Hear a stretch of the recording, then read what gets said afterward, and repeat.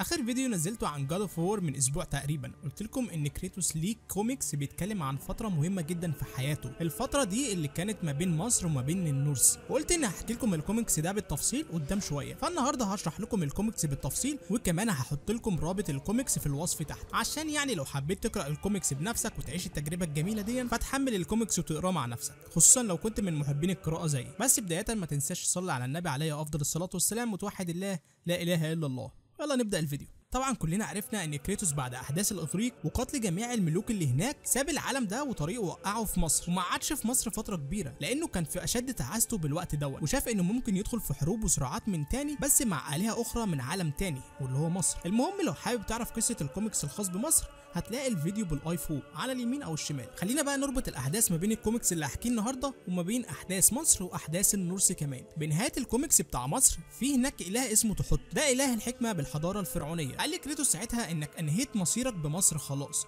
وإني أتمنى لك الحظ الجيد لأنك هتحتاجه في اللي جاي. وبعدها قام كريتوس ومشي وفضل يقول كلام كله يأس زي إن أنا محاصر داخل عالم ظلامي وعليا اللعنة حتى وصولي للجحيم نفسه. وفضل يمشي في أرض الله ما يعرفش هو رايح فين أصلا. ويظهر على كلامه إنه كان بيمشي وسط الرياح يعني. يعني تجيبه شمال تجيبه يمين هو ماشي ولا بيه ولا عليه. لحد ما بطريقة ما مش معروفة وصل للأراضي الإسكندنافية. وده هيجيبنا للكوميكس بتاعنا بتاع النهارده. بيظهر كريتوس وسط الغابة وباين عليه ملامح الكبر بيقول لنفسه كريتوس كل يوم بخرج للغابة بحثا عن تحدي ولكن دائما هناك تحدي واحد فقط يقصد الذئاب. بيقابلهم كريتوس بمنتهى الهدوء وبيقول هي دي الطريقة الوحيدة لاختبار نفسي. فجأة بنلاقيه بالبيت مع زوجته فاي اللي بتسأله إيه هو التحدي اللي قابلته النهارده يا كريتوس؟ أكيد دب لأنك مصاب بشكل خطير. بيقول لها لا كانت مجرد ذئاب عادية. وبعدها بيكلمنا إحنا وبيقول لنا إنها فاكراني ببحث كل يوم بالغابة عن تحدي من أجل القتال. ما تعرفش إني بسيبهم هم اللي يقتلوني إشارة منه إن ده سبب إصابته يعني إنه سايب لهم نفسه تماما. والسبب هو سيطرته على غضبه. عشان تصدقوني لما قلت لكم إن ماجني أكتر حد استفز كريتوس وخلاه يطلع الغضب اللي جواه لأنه استعرض قوته عليه. وكريتوس هنا بيثبت النظرية دي إن هو اي حد بيستعرض عليه قوة ضخمة جدا بيظهر الوحش اللي جواه. فعشان كده بيحاول يتحكم فيه. خليني بقى اكمل لك كلام كريتوس. بيقول لك والسبب هو سيطرتي على غضبي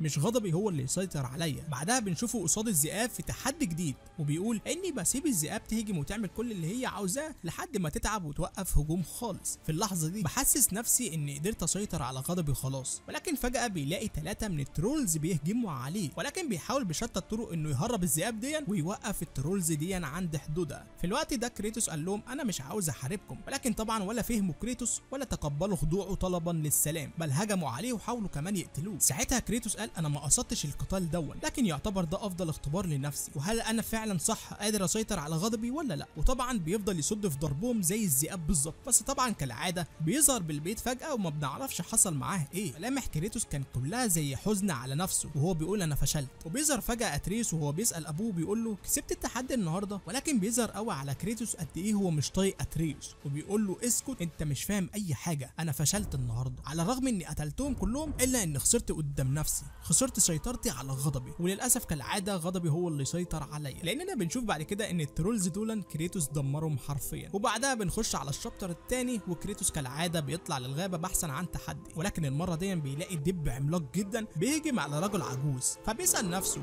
معقولة ده هو التحدي اللي بدور عليه؟ لكن بيتراجع وبيقول لا أنا لازم أمشي من هنا حالا. كده كده الراجل العجوز ده ما يهمنيش في شيء وهيموت هيموت. لكن فجأة كريتوس بيحس إن غضبه بدأ يولع فيه من جوه وكأنه شيطان عاوز يخرج. مبقاش حتى قادر يتمالك أعصابه. هل مثلا بسبب صرخات الرجل العجوز دون أم بسبب صوت الدب العملاق جعل من كريتوس غاضب؟ وكأن كريتوس ما بيحبش يشوف ولا يسمع إن في شخص أقوى منه. في الحتة دي هستنى أعرف رأيكم فيها. لكن رأيي أنا إنه صعب عليه الراجل العجوز دون. فطلع الغضب اللي جواه ورجع تاني للدب دون وشاله من على الراجل العجوز دون لحد ما كسر فكه نصين وقال له للجحيم انت ذاهب وبيبص وراه وهو بينهج من كتر الغضب لقى الراجل العجوز بيلفظ أنفاسه الأخيرة. راح كريتوس قال في اللحظة دي اللعنة فلتذهبوا أنتم الاثنين للجحيم. وهنا قال كريتوس كلمة جميلة جدا وهي لقد أثار استعطافي هذا الرجل العجوز. يعني صعب عليه. وده معناه إنه فعلا رجع له لأنه صعب عليه فعلا. وبيرجع البيت كريتوس وبيسأل أتريس عن أمه هل رجعت من بره ولا لأ؟ لكن ما كانش يعرف إن في ثلاثة بيتبعوه طوال الطريق لحد بيته. أول ما شافهم قال لهم نفس اللي قاله البلدر. Leave. My home. طبعا بيتكلموا نوردي وهو مش بيفهم كلامهم خالص لكن أتريس قال له هو بيقول لك أنت قتلت أخوهم النهارده وهم جايين عشان ينتقموا منك. رد كريتوس وقال لهم أنا ما قتلتش أخو حد النهارده اللي قتلته كان وحش فاقد عقله تماما ولكن لو عاوزين fight فأنا جاهز. وفجأة تحول منهم اتنين لدببة ضخمين جدا وهجموا على كريتوس. وطبعا بيخلص الفصل التاني فخد لك استراحة لو عايز تشرب أي حاجة أو تعمل أي حاجة. وتعالى بقى نخش على الفصل الثالث بنشوف كريتوس وهو بيواجههم في قتال عظيم وبيحاول بشتى الطرق إنه يحاربهم وفي نفس الوقت يحمي ابنه أتريوس اللي كان في الوقت ده ضعيف جدا ومش فاهم أي حاجة. طبعا خلص عليهم كريتوس وشاف أخوهم الثالث عمال يتكلم من بعيد وهو في منتهى الغضب. قال له ساعتها أتريوس ده بيقول لك إنك اتسببت في إراقة دم إخواته النهارده وإنه هيرجع لك تاني ومعاه العشيرة بتاعته بالكامل. كريتوس قال له مفيش الكلام ده لأنه هيموت النهارده. تعالى معايا. طبعا كريتوس في اللحظة دي كان خايف جدا لأنه حس بغضبه جواه زي الشيطان بيغلي. وقال ساعتها ان لازم ألاقي الراجل دون وأوقفه عن اللي ناوي يعمله حتى لو هقتله. وده لأنه فعلا كان خايف بسبب إنه بقى عنده أسرة وخايف يحصل لهم نفس الشيء اللي حصل معاه بالإغريق. أتريوس ساعتها بيقول له ان استنى ممكن فالا العرافة تعرف مكانهم فين؟ وقال له إن أنا أعتقد إن أنا فاكر مكانها فين لأني رحت مع أمي مرة عندها. ساعتها كريتوس بيقول له دي فكرة حلوة جدا يلا بينا. طبعا أتريوس في الوقت دون كان سعيد جدا لأن معاملتهم كانت بالوقت ده سيئة جدا. وسطحية لأبعد الحدود. المهم بيروحوا للكوخ الخاص بالعرافة دي وبيدخلوا عندها. فبتقول له خش يا كريتوس انت مرحب بيك هنا. فبيستغرب انها عارفاه. فبتقول له انها تعرفه كويس جدا وتعرف كمان أشياء تانية أعظم بكتير من اللي هو متخيلها زي انه قاتل الالهه وإنه جه عندها سعيا للشخصيات المتحولة للدببة. طبعا بيخاف جدا كريتوس لأنها عارفة ماضيه وبالوقت ده ما كانش عاوز أتريوس يعرف عنه أي شيء. لكن للأسف بيخلص ال chapter الثالث وفاضل ال chapter الرابع